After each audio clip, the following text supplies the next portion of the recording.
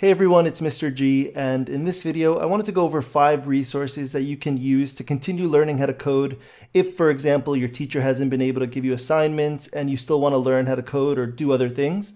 So I'm going to offer you five resources you can check out, four of which are free, and one isn't free, but it isn't too expensive, depending on what you're trying to do. Now, before we begin, I obviously have to mention that YouTube is an amazing resource and educational tool with videos on pretty much every topic. So if there's something you want to learn, there's probably someone out there that has made videos for it. I mean, that's how you found me, right? Now, the first resource I'm going to share is Scratch. And Scratch is an online block-based programming language, as well as an online community that allows you to start learning how to code. And while it looks really simple, it is actually pretty powerful. You can do some pretty advanced stuff and make some amazing projects using Scratch. But for someone that's never used it before or needs some new ideas for things to do, if you go to the Ideas tab, once you go to the website, there are a whole bunch of tutorials that you can check out by clicking Choose a Tutorial. And you can learn how to do a whole bunch of different things in Scratch. So for example, let's say you want to animate your name using letters and every time a letter is clicked, something happens. You can click on that tutorial and then go through it. They have a little video of which blocks to drag where and an explanation of what you can do.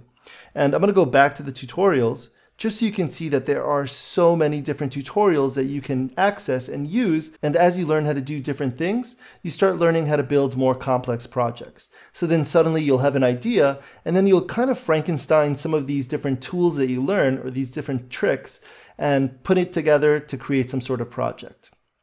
You could also check out my YouTube channel, which you're currently on, because I have a whole bunch of different Scratch tutorials for things to do, and I try to explain my thought process as I'm coding so you can understand like what I'm thinking. Scratch is used by millions of people around the world and it's an amazing tool. Now the next resource I want to share out is Hour of Code, which you may have already played with or seen at some Computer Science Education Week event that some teachers run during December.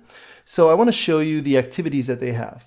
If you click on activities at the top, you could select your grade level and how comfortable you are with coding. And then there's a whole bunch of different one hour activities where you can learn how to build different things. So for example, uh, one of the most popular ones is make a Flappy game. So if any of you remember the game Flappy Bird from a few years ago, Hour of Code has a module that shows you how to learn how to build that game. It is a little bit easier than actually building the real game because they do provide you some help and this is meant to be done in an hour, but you do learn a lot. They have a video to watch and then they let you code and they keep going back and forth until you build something and understand the thinking behind building a game like Flappy Bird. But if Flappy Bird is something that's not appealing to you, there are a whole bunch of different other modules, each lasting about an hour, that you can start doing to start learning how to code and to start learning how to think through these problems as you solve them. Because at the end of the day, that's what computer science is. It's just problem solving. The next resource I want to share out is meant more for high schoolers or maybe some middle schoolers that are very comfortable with coding or have some experience already. And this is an online curriculum for AP Computer Science principles. So this curriculum is online, it's free, and it uses another block-based programming language called Snap. Snap is a programming language that's very powerful and very advanced, but if you're coming from scratch, it's very accessible. So you'll see a lot of the same blocks, but then there are a lot more advanced blocks and you can create your own blocks. You can even add your own JavaScript to some of the blocks and do some really powerful things in Snap. The Snap interface should be very familiar to anyone that's used Scratch because you have your blocks on the left, you have your scripting area in the middle, and you have your stage on the right. You also have your sprite corral in the bottom right. Now, once you have the Snap interface open, you can click on BJC curriculum and start going through the actual lessons.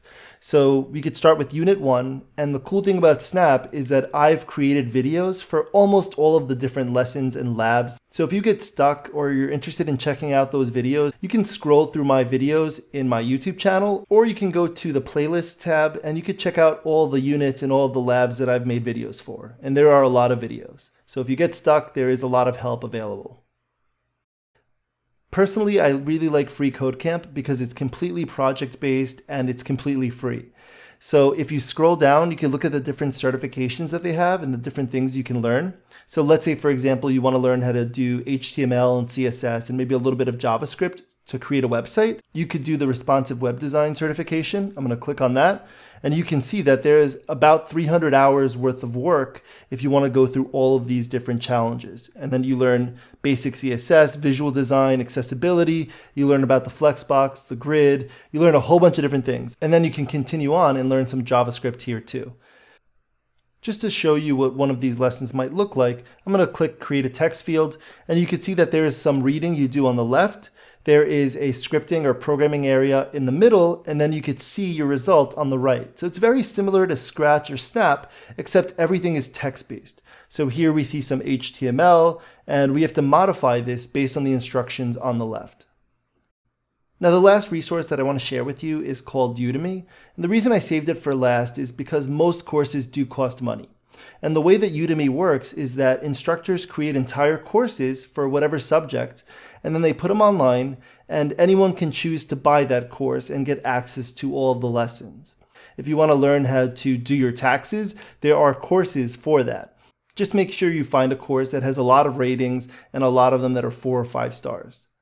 Now, I do want to mention that you should never pay more than 12 or $13 for a course. Some of them are listed at 100 or $200, and then they have like a 95% off sale. That sale is always running. So you can always find Udemy courses for about $10 every single week. And just to show you what this might look like, let's say you want to learn JavaScript. So I'm going to go to the search bar and type in JavaScript, hit enter, and you'll be able to see all the different courses that exist for JavaScript. So for example, this modern JavaScript from the beginning course has a lot of good ratings, over a thousand ratings, 4.7 on average, and it's a 22 hour course for $12.99. And it's probably really good. So you can click on the course and you can preview some of the lessons in the course. So you can see if the course is for you or if you're going to be interested in what the instructor is going to be teaching. So check out the previews and you could also check out the curriculum for the course. You could see what they have lectures on and what you're going to be learning throughout. Personally, I've done about 10 courses myself and I've learned a whole bunch from some really amazing instructors. I hope this video was helpful in guiding you to a few resources that you can use to learn and continue to learn how to code. But if you have any suggestions on other resources that other people can benefit from, feel free to post that in the comments below. And I'll see you in the next video.